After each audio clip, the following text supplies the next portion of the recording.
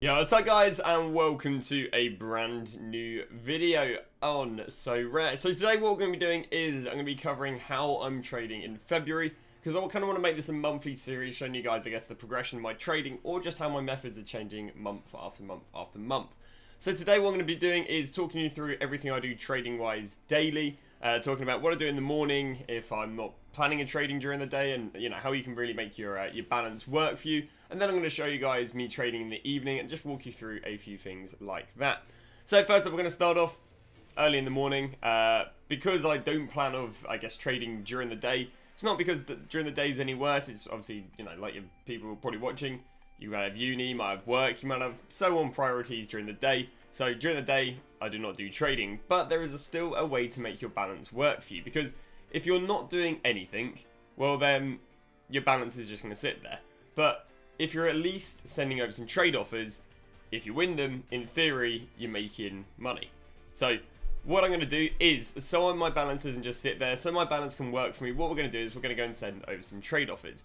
Now, first off, you need to find out who you're going to trade off at. Now, it doesn't really matter who you trade off at, but um, I'll show you, I guess, how I how I source my players. So I source my players again. I just go onto the new auctions. I then go minimum price uh, five euros, maximum price twenty five euros. Now the reason for this is because I don't really want to be sending trade offers on, you know, the players. are sort of one euro, two euro, one euro fifty. Obviously, if you're on a lower budget, crazy. If you're on a higher budget, it's just not really where the efficiency is. The efficiency I find is on players from 5 to about 12, 15 euros, but we'll go up to 25. So what we're going to do is just going to go and scroll to the second page, and what we're doing right here is nothing more than just sourcing players. So, let's go and find ourselves a player then we're going to use. Let's go and use Dirk Abels. Abels. So what we need to do right now is find out how much does he sell for. So, how we're going to find out what he sells for is using Sorare data. So we're going to type in D-A-R-K-A-B-E-L-S. going to type his name in, and he's going to go and pop up. Um, now what we're going to do is going to go look at the limited. We can look at weekly and then look at monthly if we want. So we're going to basically try and find out what is the average. Now the blue you want to ignore. Blue is bids. Uh, people will way overpay on bids for the sake of affiliate cards. So please ignore the bids because no one is actually buying at that price from player to player, only from the site to the player. So ignore the bids. What you're looking at is the purples, which are just straight up buy nows on the market, and the reds, which are trade offers. So in the last week, we're looking at about 8 euros here. We're looking at 8 euros here, 8 euros here. We're seeing a dip down here down to 7 euros. Again, furthermore, a dip down here to 7 euros. We've got one here at 9 euros 30. And if we open this up to the month rather than the uh, the last week, um, yeah, we can see that uh, we can see that he's been 7 euros. But obviously, all European football players are up as of the last you know week or two because of all of the European leagues being back after the winter break. So we can even see back here going for about 8 euros. So I think it'd be very fair to say that he's going for 8 euros. Now, my rule of thumb is you're trying to get players about 10% cheaper than what they're going for, or at least 1 euro. So for example, if I think he's going to go for 8 euros, obviously that'd be 80 cent. But because I want my rule of thumb being at least 1 euros, we're going to go 7 euros. So what we're going to do right now is we're going to go and send over some trade offers. Now, let's say you could, you know, you can go and send them on absolutely anything. You know, if, if you don't have much time to go and find players, literally just go and send them on. Even people who are trying to sell this for 20 euros, because if they look into it, they'll go, well, you know, I'm trying to sell a 20 euro card here for 9 euros. Yeah, go on then, I'll go and take the uh, 7 euros. So what I do is I just open these all up in tabs and then go and send over an offer. He's obviously got the minimum on. Uh, I go and send over an offer, 3-7 in confirm, have autofill, which just makes my life so much easier. And I'll do that one, then that one, then that one, then that one, then that one. And I'd say doing that, even again if you're going to get all part one denied, is still better than not doing anything. Because you're actually going to, you know, make your uh, make your balance work for you during the day, rather than just sitting there not getting you any deals. So that is what I do during the day. What we're going to do right now is show you what happens in the uh, afternoon when it comes to actual trading. Another tip of something I do in the morning is uh, the cards that are uh, selling on. So what I'll do is any cards that are close to expiring, uh, maybe uh, let's say I listed the cards two days, uh, you know, the equivalent of two days ago, rather than letting the cards expire and then having to go and research what their price is again, if I just want to play it lazy, what I will literally do is I will just copy the price, I will cancel it, click on the card again, list, paste the price in, and this is way, way easier than letting the player expire, and then I have to head over to the database. Then I have to go, alright, what was he going for again? And then I have to go and type in uh, the names and such. So I this is another thing I do in the morning is if I do need to relist a player, I will before the player expires. So then again, I don't have to research what they're going for. I'll just copy, cancel the listing, click on the listing, paste the price, and therefore boom, they're up for another two days, and I don't don't have to worry about them expiring and just sitting in uh, on the gallery rather than selling on. So that's another thing I will do in the morning. So what we've gone and done is we've gone and used, uh, I think we had like 240 euros. Gone and used all that on uh, trade offers. If we win them, God knows, better. yeah, so it's better for running trade offers rather than just having your money sitting around. But yeah, what I'm going to do is uh, I'll be working, during the day. And then we'll uh, see you guys, I guess, overcapping what happened during the day in terms of trade offers, what we sold. Obviously, not going to be buying anything, uh, what trade offers we won, and then what we'll do is I'll show you how I do trading in the evening. So we're about 7-8 hours later, and as I done no trading, just let the cards I've sent offers on, I've either won them or not won them, and then just obviously had stuff selling in the background. Uh, we've got a few decent sells, uh, a few to uh, bring up as highlights. Uh, we'll start off here with uh, Toma Basic. Here we go, went and won him yesterday. Picked him up yesterday at uh, 12 euros 92 and we sold him today for 16 euros 08. So nice over like 3 euros 20 profit on him. We then go to the next card we uh, went and flipped, and that is a Olivier Deman. I actually bought a few Olivier Demans a while ago for um, for 20 odd, uh, which was a bit of a flop, but uh, that's alright. I'm kind of waiting on a rebound on him. I think he's is he injured at the moment. Oh, he's suspended for a game because of disciplinary. There you go. He'll be back once that happens. Probably be five yellows, but um, there you go. Bought him at 15, went and sold him there for 17, so another 2 euros uh, profit on him. And the final card we went and flipped is a really, really nice flip here on uh, Waldemar Anton. Went and picked him up uh, a few days ago, about last week for 28 euros. We've gone and flipped him today for, we didn't find that one, for 34 euros 87. So a nice little, around about a 7 euro profit on him. So very, very happy with those flips. Uh, during the day, obviously, we sent over loads of trade offers. We haven't been too successful on the trade offers. We've only won four things during the day, but those are four things I would have won if I didn't go and spend 10, 20 minutes trying to win the deals. We started right here with an Ezekiel. Uh, I think I showed him in the video even. Uh, if not, here is the Ezekiel, and the profit on him is looking... Picked him up here for 20 euros 60. Uh, plan to sell him for about 23 euros 60, so it should be a 3 euro profit on him, which isn't too bad. Uh, then when I picked up two, what is this guy called? Uh, Frankie Winther. Lovely. Of uh, Augsburg. And we went and picked both of these up here for 8 euros. Uh, planning to go and selling one for about 9 euros. Both under... Yeah, pick them both up for 8 euros. Plan is going to sell for 9 euros. Nothing too crazy other than a 1 euro profit per card. And then we've uh, gone and picked up our last guy right here, which is Milos... Uh, can I pronounce his name right? Pantovic. There you go. And I'd say these were all just picked up during the day, like I showed earlier in the video. And we went and picked up this guy for 28 euros 30, uh, with a plan of at least selling him for 31 euros, around about 32 euros, uh, with maybe a high to selling for 35, 36. I feel like that might be slightly ambitious, because I believe they're playing Bayern Munich next game, or at least not this game, but the game after. Got a uh, 197 to work, uh, 197 euros to work with. But because I'm going to be doing quite a lot of active trading right now, I, like I said earlier, whilst I'm not on the site, I don't mind having my cards locked up, coin, oh, sorry, my, my euros locked up in offers. Because, I mean, look, it paid off really well there. This guy might have listed them up for like 34. I went for an ambitious offer, and I managed to win it. But the cards that I didn't win, so it doesn't hold me back in not having uh, money to, you know, put in offers or to snipe deals, what I'm now going to proceed to do is going to go and cancel all of my offers. So what I can do to easily find these is look at open offers, and all I've got to do right now is just press cancel on each one of these. And what's going to happen is obviously I'm just going to start getting uh, my money back, or you know my money's not going to be held pending in these offers. So what I'm going to do is we're going to cancel all of these, see how much we can get, and then we'll probably start snipe uh, doing a bit of sniping trading. Do a bit of sniping. Now how I snipe on here is I go set the prices. I put the minimum price to about 5 euros, or as close as I can get to that. We then go and put the uh, maximum buy now, and buy now, sorry. The max, I don't know, that is, is basically what it is. Maximum buy now to 27 euros. And now I'm going to go and proceed to put this to ending soon. That's like under where my webcam is, right here.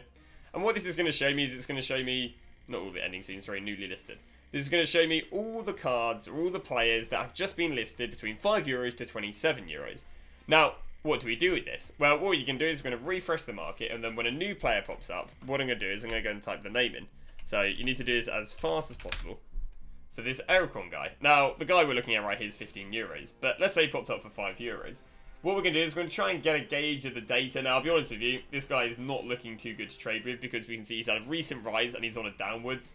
So again, last thing we do is catching a down, a falling knife. So, because honestly, there's no hurry, I'd leave him. I just, we'll go to the next one. I don't, I don't like the trends on that guy. And because I don't like the trends, we'll just move to the next one. And we'll re redo it. And now the next guy is called Lee Ho J. So, this guy's worth 9 euros. Interesting. What's his trend? Again, I don't like that he's been dropping recently. He's been on a rise recently. I'll be honest, if I wanted to play this safe, I'd probably want to buy in at one of these prices here. So like 7 euros 50 or 8 euros 50. Um, I'd probably presume I could sell him for about 9 euros. Again, he's a bit of an awkward one.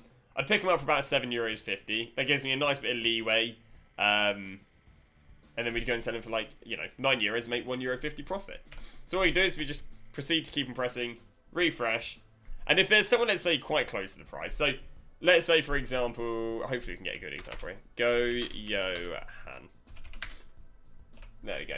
This guy might be a perfect example.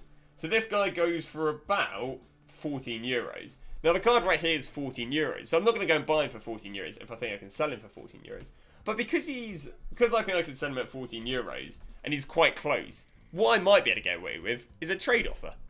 You know, like, because this, you know, 12 euros for a card that's 14 euros isn't overly unreasonable. Um, and I say might accept and then I can go and flip it for 14 euros. Because this guy's just listed the card, which means, one, I know he's active, so I'm likely to get a response off him pretty fast if he's either going to want me to have the card or not have the card.